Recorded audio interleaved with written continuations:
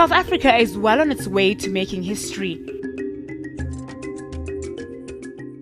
What you see here is just one of the 64 dishes that will become the meerkat, part of the square kilometer array.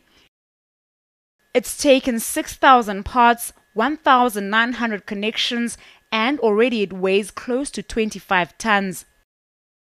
The Meerkat radio telescope will become the world's most powerful until the SKA is completed in 2024. Its purpose is to give us a window into space in never seen before detail. Designer engineer Jacques Larim says he's learnt a lot from his team of more than 30 people, all with different skills. It broadens your, your horizons in terms of the different industries and different people that you talk to in those industries.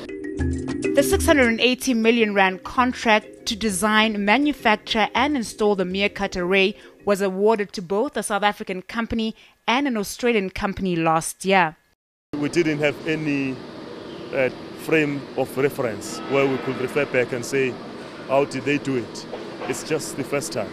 So it's a marvel to look at it because it shows the capability that an African company has and an African company can contribute towards building such structures.